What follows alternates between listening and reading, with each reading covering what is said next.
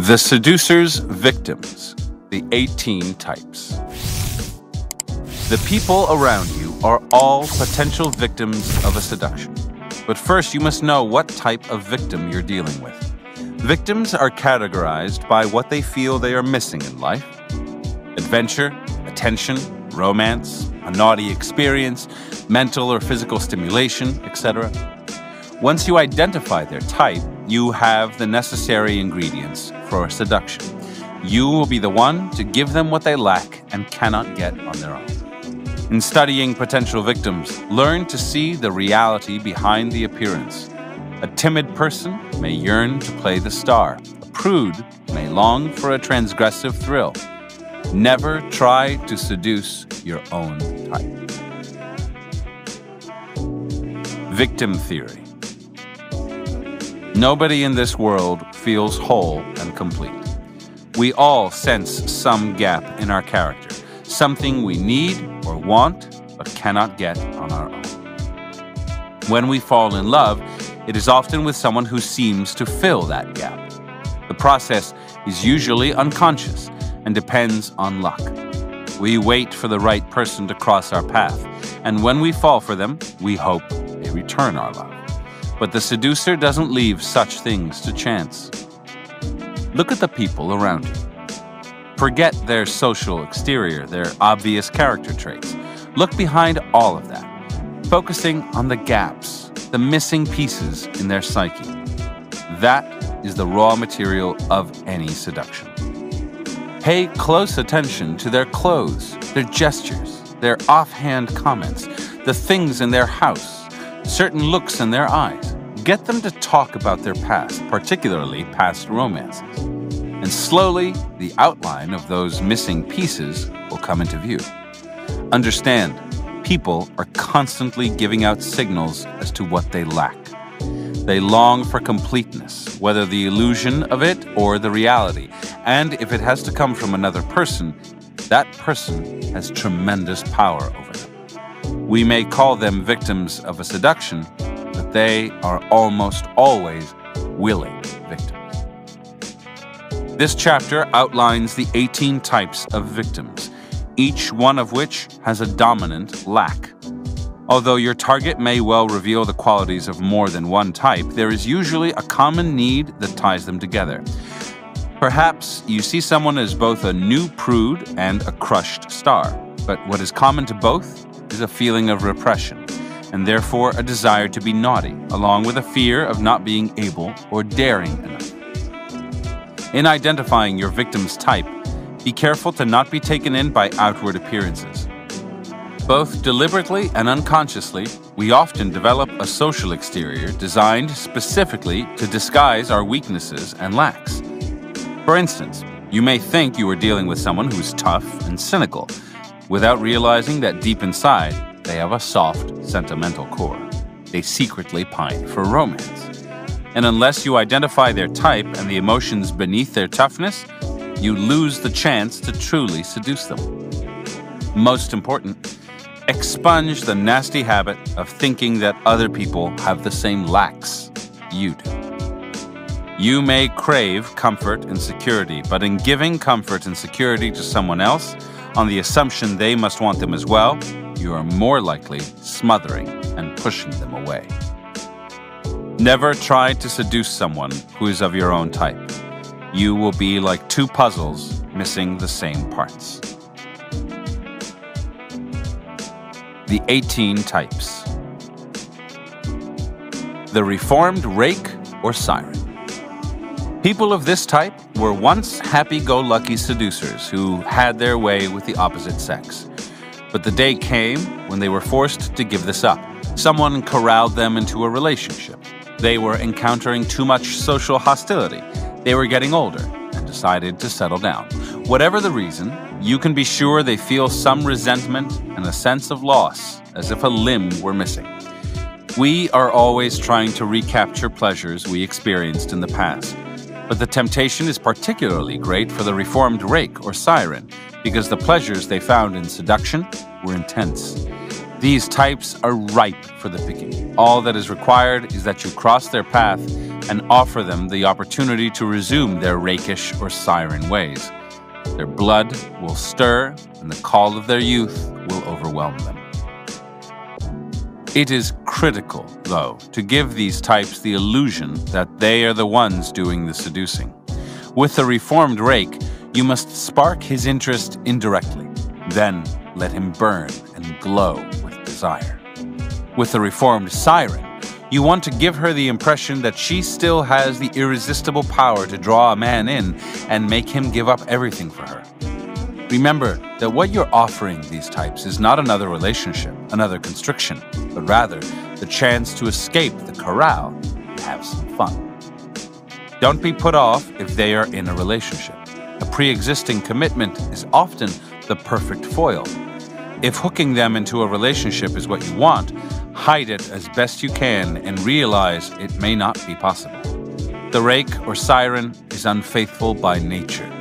Your ability to spark the old feeling gives you power, but then you will have to live with the consequences of their feckless ways. The Disappointed Dreamer As children, these types probably spent a lot of time alone. To entertain themselves, they developed a powerful fantasy life, fed by books and films and other kinds of popular culture. And as they get older, it becomes increasingly difficult to reconcile their fantasy life with reality. And so, they're often disappointed by what they get. This is particularly true in relationships. They have been dreaming of romantic heroes, of danger and excitement, but what they have is lovers with human frailties, the petty weaknesses of everyday life. As the years pass, they may force themselves to compromise because otherwise they would have to spend their lives alone. But beneath the surface, they are bitter and still hungering for something grand and romantic. You can recognize this type by the books they read and films they go to, the way their ears prick up when told of the real life adventures some people manage to live out. In their clothes and home furnishings, a taste for exuberant romance or drama will peek through. They are often trapped in drab relationships, and little comments here and there will reveal their disappointment and inner tension. These types make for excellent and satisfying victims. First, they usually have a great deal of pent up passion and energy, which you can release and focus on yourself. They also have great imaginations and will respond to anything vaguely mysterious or romantic that you offer them. All you need do is disguise some of your less than exalted qualities and give them a part of their dream. This could be the chance to live out their adventures or be courted by a chivalrous soul. If you give them a part of what they want, they will imagine the rest. At all costs, do not let reality break the illusion you are creating. One moment of pettiness, and they will be gone, more bitterly disappointed than ever. The Pampered Royal. These people were the classic spoiled children. All of their wants and desires were met by an adoring parent, endless entertainments, a parade of toys, whatever kept them happy for a day or two. Where many children learn to entertain themselves, inventing games and finding friends, pampered royals are taught that others will do the entertaining for them. Being spoiled, they get lazy, and as they get older and the parent is no longer there to pamper them, they tend to feel quite bored and restless. Their solution is to find pleasure in variety, to move quickly from person to person, job to job, or place to place before boredom sets in. They do not settle into relationships well because habit and routine of some kind are inevitable in such affairs. But their ceaseless search for variety is tiring for them and comes with a price. Work problems, strings of unsatisfying romances, friends scattered across the globe. Do not mistake their restlessness and infidelity for reality. What the pampered prince or princess is really looking for is one person that parental figure who will give them the spoiling they crave. To seduce this type, be ready to provide a lot of distraction, new places to visit, novel experiences, color, spectacle. You will have to maintain an air of mystery, continually surprising your target with a new side to your character. Variety is the key. Once pampered royals are hooked, things get easier, for they will quickly grow dependent on you. You can put out less effort. Unless their childhood pampering has made them too difficult and lazy, these types make excellent victims. They will be as loyal to you as they once were to mommy or daddy. But you will have to do much of the work. If you're after a long relationship, disguise it. Offer long term security to a pampered royal, and you will induce a panicked flight. Recognize these types by the turmoil in their past, job changes, travel, short term relationships, and by the air of aristocracy, no matter their social class, that comes from once being treated like royalty. The New Prude. Sexual prudery still exists, but it is less common than it was. Prudery, however, is never just about sex. Prude is someone who is excessively concerned with appearances, with what society considers appropriate and acceptable behavior. Prudes rigorously stay within the boundaries of correctness because more than anything, they fear society's judgment. Seen in this light, prudery is just as prevalent as it always was. The new prude is excessively concerned with standards of goodness, fairness, political sensitivity, tastefulness, etc. What marks the new prude, though, as well as the old one, is that deep down they are actually excited and intrigued by guilty, transgressive pleasures. Frightened by this attraction, they run in the opposite direction and become the most correct of all. They tend to wear drab colors. They certainly never take fashion risks. They can be very judgmental and critical of people who do take risks and are less correct.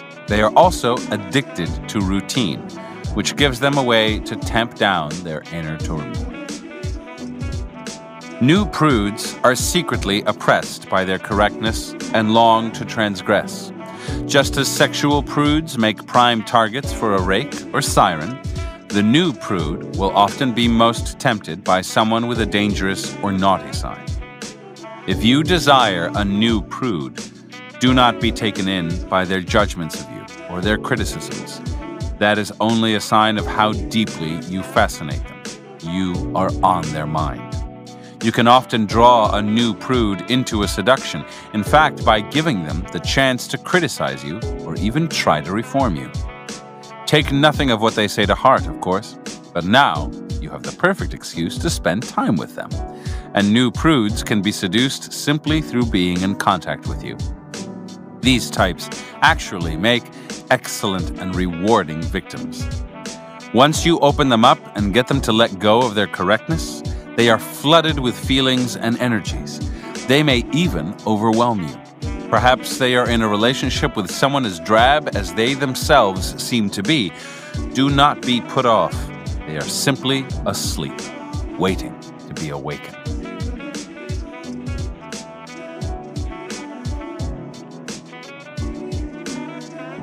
The Crushed Star.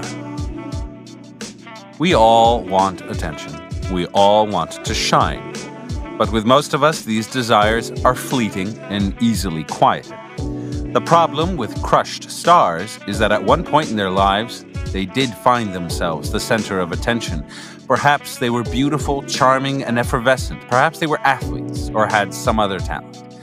But those days are gone. They may seem to have accepted this, but the memory of having once shown is hard to get over. In general, the appearance of wanting attention, of trying to stand out, is not seen too kindly in polite society or in the workplace. So, to get along, crushed stars learn to tamp down their desires. But failing to get the attention they feel they deserve, they also become resentful. You can recognize crushed stars by certain unguarded moments. They suddenly receive some attention in a social setting, and it makes them glow. They mention their glory days, and there is a little glint in the eye, a little wine in the system, and they become effervescent. Seducing this type is simple just make them the center of attention. When you're with them, act as if they were stars and you were basking in their glow. Get them to talk, particularly about themselves. In social situations, mute your own colors and let them look funny and radiant by comparison.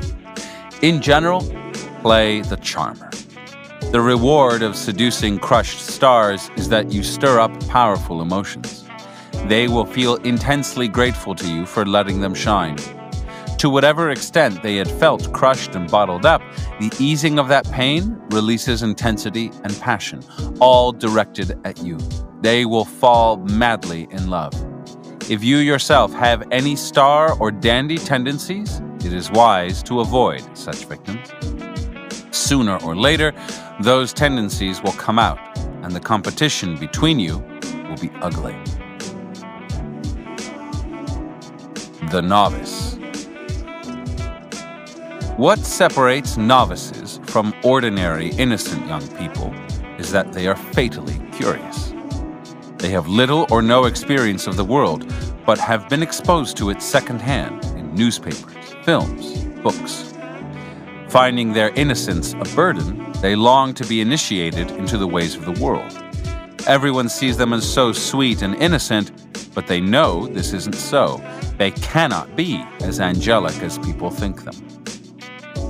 Seducing a novice is easy. To do it well, however, requires a bit of art. Novices are interested in people with experience, particularly people with a touch of corruption and evil. Make that touch too strong, though, and it will intimidate and frighten them. What works best with a novice is a mix of qualities. You are somewhat childlike yourself with a playful spirit. At the same time, it is clear that you have hidden depths, even sinister ones. This was the secret of Lord Byron's success with so many innocent women. You are initiating your novices, not just sexually, but experientially, exposing them to new ideas, taking them to new places, new worlds, both literal and metaphoric. Do not make your seduction ugly or seedy. Everything must be romantic, even including the evil and dark side of life. Young people have their ideals. It is best to initiate them with an aesthetic touch. Seductive language works wonders on novices, as does attention to detail.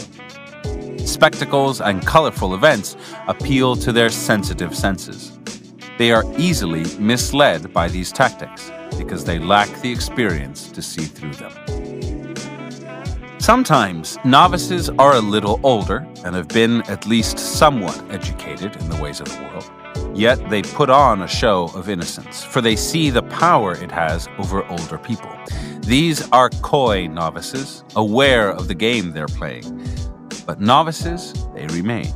They may be less easily misled than purer novices, but the way to seduce them is pretty much the same.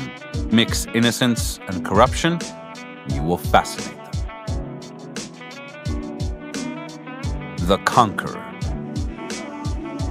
these types have an unusual amount of energy, which they find difficult to control.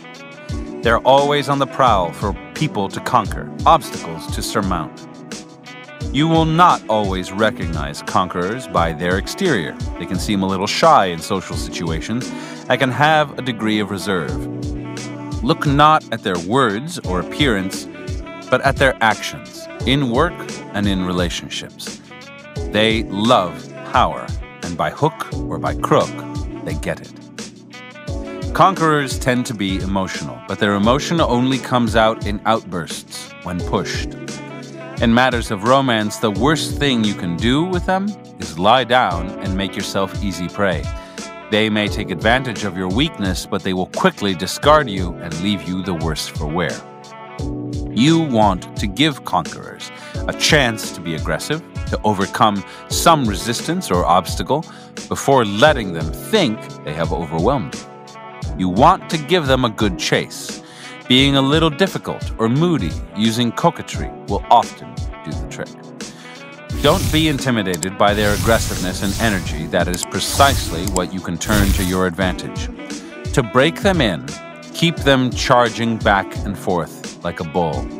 Eventually, they will grow weak and dependent as Napoleon became the slave of Josephine.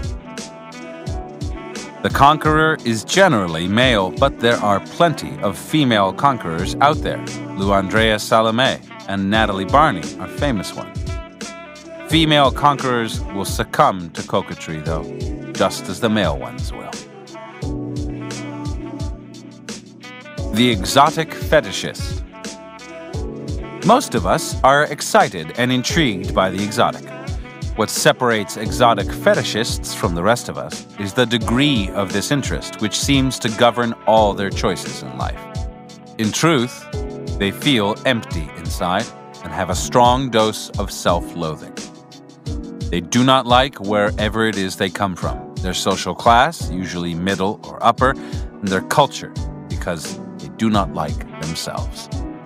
These types are easy to recognize. They like to travel, their houses are filled with objets from faraway places. They fetishize the music or art of this or that foreign culture. They often have a strong rebellious streak. Clearly, the way to seduce them is to position yourself as exotic. If you do not at least appear to come from a different background or race, or to have some alien aura, you shouldn't even bother. But it is always possible to play up what makes you exotic, to make it a kind of theater for their amusement. Your clothes, the things you talk about, the places you take them, make a show of your difference. Exaggerate a little, and they will imagine the rest, because such types tend to be self deluders. Exotic fetishists, however, do not make particularly good victims. Whatever exoticism you have will soon seem banal to them and they will want something else. It will be a struggle to hold their interest. Their underlying insecurity will also keep you on edge. One variation on this type is the man or woman who is trapped in a stultifying relationship, a banal occupation, a dead end town. It is circumstance, as opposed to personal neuroses, that makes such people fetishize the exotic. And these exotic fetishists are better victims than the self loathing kind, because you can offer them a temporary escape from whatever oppresses them. Nothing, however, will offer true exotic fetishists escape from themselves. The Drama Queen. There are people who cannot do without some constant drama in their lives. It is their way of deflecting boredom. The greatest mistake you can make in seducing these drama queens is to come offering stability and security. That will only make them run for the hills. Most often, drama queens, and there are plenty of men in this category, enjoy playing the victim. They want something to complain about. They want pain. Pain is a source of pleasure for them. With this type, you have to be willing and able to give them the mental rough treatment they desire. That is the only way to seduce them in a deep manner. The moment you turn too nice, they will find some reason to quarrel or get rid of you. You will recognize drama queens by the number of people who have hurt them, the tragedies and traumas that have befallen them. At the extreme, they can be hopelessly selfish and anti seductive, but most of them are relatively harmless and will make fine victims if you can live with the Sturm und Drang. If for some reason you want something long term with this type, you will constantly have to inject drama into your relationship. For some, this can be an exciting challenge and a source for constantly renewing the relationship. Generally, however, you should see an involvement with a drama queen as something fleeting and a way to bring a little drama to your own life. The Professor. These types cannot get out of the trap of analyzing and criticizing everything that crosses their path. Their minds are overdeveloped and overstimulated. Even when they talk about love or sex, it is with great thought and analysis. Having developed their minds at the expense of their bodies, many of them feel physically inferior and compensate by lording their mental superiority over others. Their conversation is often wry or ironic. You never quite know what they're saying, but you sense them looking down on you. They would like to escape their mental prisons. They would like pure physicality, without any analysis, but they cannot get there on their own. Professor types sometimes engage in relationships with other professor types or with people they can treat as inferiors. But deep down, they long to be overwhelmed by someone with a physical presence, a rake or a siren, for instance. Professors can make excellent victims, for underneath their intellectual strength lie gnawing insecurities. Make them feel like Don Juans or sirens to even the slightest degree, and they are your slaves. Many of them have a masochistic streak that will come out once you stir their dormant senses.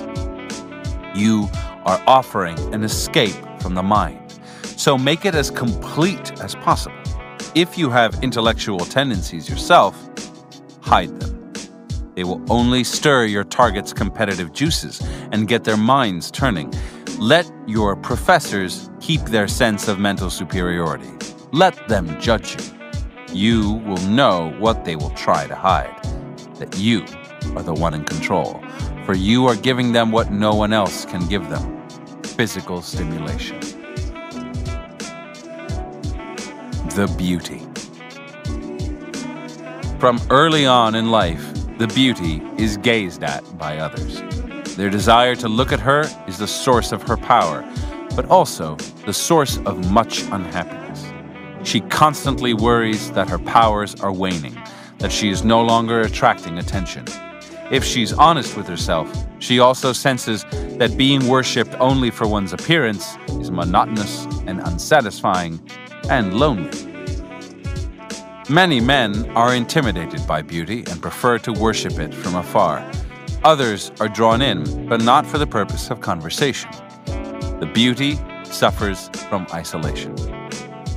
Because she has so many lacks, the beauty is relatively easy to seduce, and if done right, you will have won not only a much prized catch, but someone who will grow dependent on what you provide. Most important in this seduction is to validate those parts of the beauty that no one else appreciates. Her intelligence, generally higher than people imagine, her skills, her character. Of course, you must worship her body. You cannot stir up any insecurities in the one area in which she knows her strength and the strength on which she most depends. But you also must worship her mind and soul. Intellectual stimulation will work well on the beauty, distracting her from her doubts and insecurities, and making it seem that you value that side of her personality. Because the beauty is always being looked at, she tends to be passive. Beneath her passivity, though, there often lies frustration. The beauty would love to be more active and to actually do some chasing of her own. A little coquettishness can work well here at some point in all your worshiping, you might go a little cold, inviting her to come after you. Train her to be more active, and you will have an excellent victim. The only downside is that her many insecurities require constant attention and care. The aging baby. Some people refuse to grow up. Perhaps they're afraid of death or of growing old. Perhaps they're passionately attached to the life they led as children. Disliking responsibility, they struggle to turn everything into play and recreation. In their 20s, they can be charming. In their 30s, interesting. But by the time they reach their 40s, they are beginning to wear thin. Contrary to what you might imagine, one aging baby does not want to be involved with another aging baby even though the combination might seem to increase the chances for play and frivolity. The aging baby doesn't want competition, but an adult figure.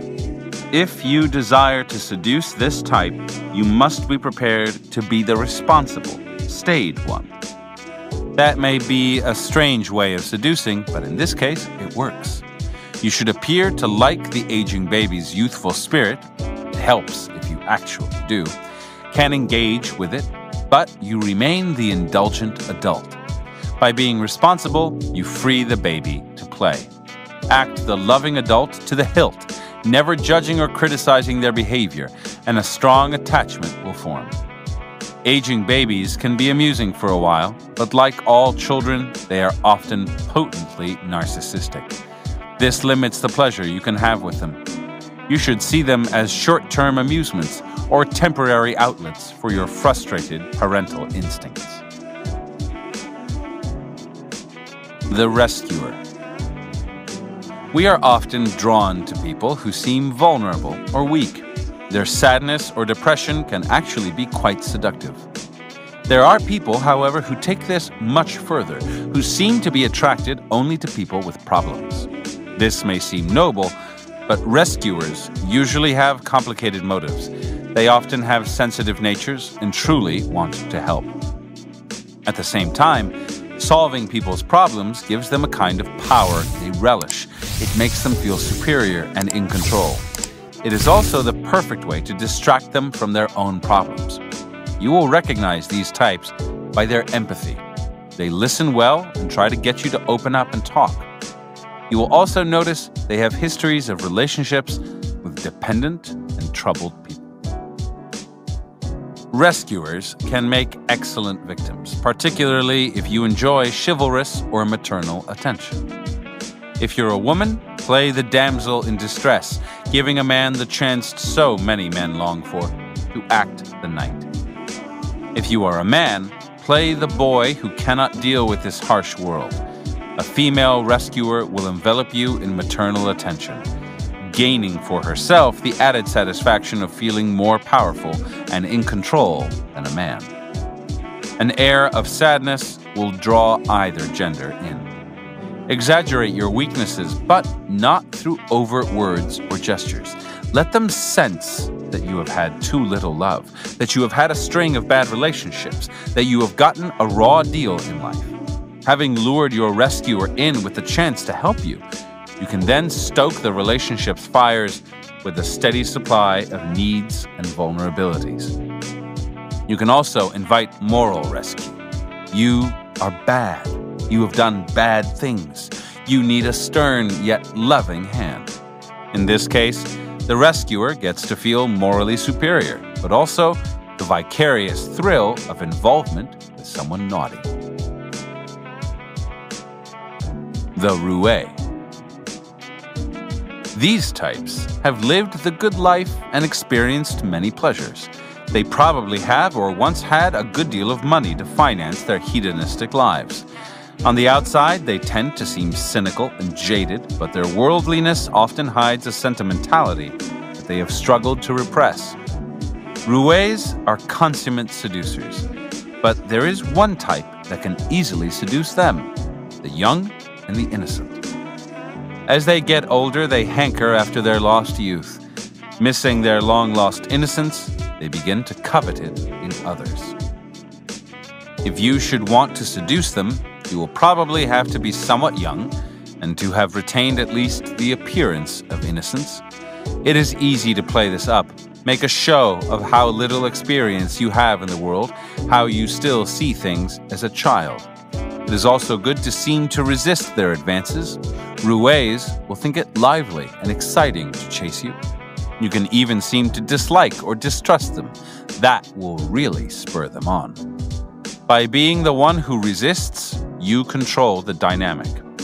And since you have the youth that they are missing, you can maintain the upper hand and make them fall deeply in love. They will often be susceptible to such a fall because they have tamped down their own romantic tendencies for so long that when it bursts forth, they lose control. Never give in too early and never let your guard down. Such types can be dangerous. The Idol Worshipper Everyone feels an inner lack but idol worshippers have a bigger emptiness than most people. They cannot be satisfied with themselves, so they search the world for something to worship, something to fill their inner void. This often assumes the form of a great interest in spiritual matters or in some worthwhile cause. By focusing on something supposedly elevated, they distract themselves from their own void, from what they dislike about themselves.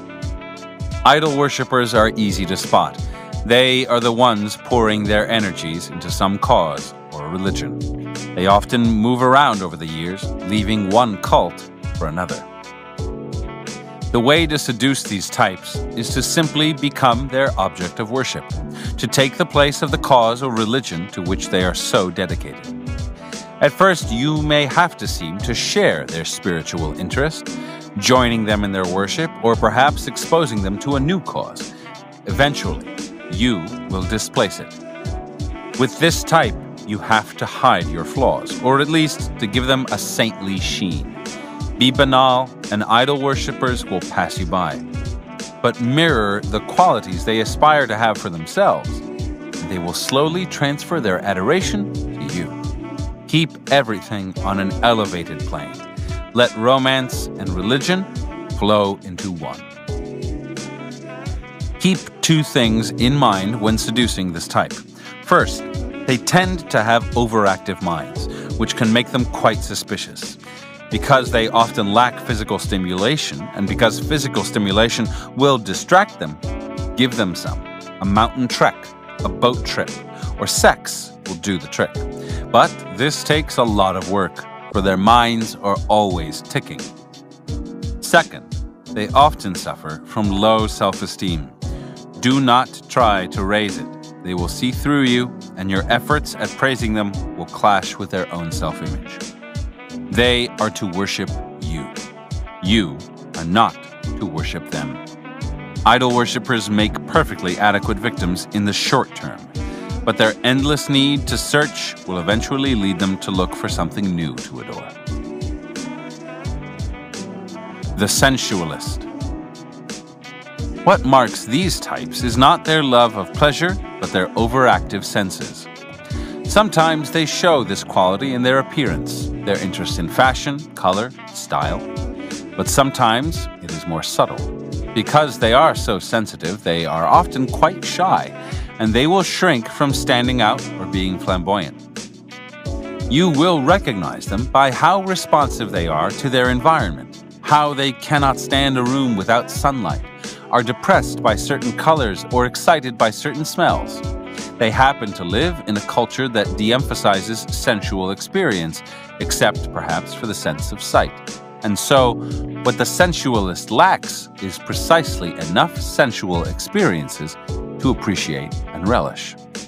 The key to seducing them is to aim for their senses, to take them to beautiful places, pay attention to detail, envelop them in spectacle, and of course, use plenty of physical lures. Sensualists, like animals, can be baited with colors and smells. Appeal to as many senses as possible, keeping your targets distracted and weak. Seductions of sensualists are often easy and quick, and you can use the same tactics again and again to keep them interested. Although it's wise to vary your sensual appeals somewhat, in kind, if not in quality. That is how Cleopatra worked on Mark Antony, an inveterate sensualist. These types make superb victims because they are relatively docile if you give them what they want. The Lonely Leader Powerful people are not necessarily different from everyone else, but they are treated differently, and this has a big effect on their personalities. Everyone around them tends to be fawning and courtier like, to have an angle, to want something from them. This makes them suspicious and distrustful, and a little hard around the edges, but do not mistake the appearance for the reality. Lonely leaders long to be seduced, to have someone break through their isolation and overwhelm them. The problem is that most people are too intimidated to try or use the kind of tactics, flattery, charm, that they see through and despise. To seduce such types, it is better to act like their equal or even their superior, the kind of treatment they never get. If you are blunt with them, you will seem genuine and they will be touched. You care enough to be honest, even perhaps at some risk. Being blunt with the powerful can be dangerous.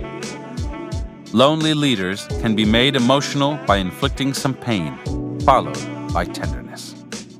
This is one of the hardest types to seduce, not only because they are suspicious, but because their minds are burdened with cares and responsibilities.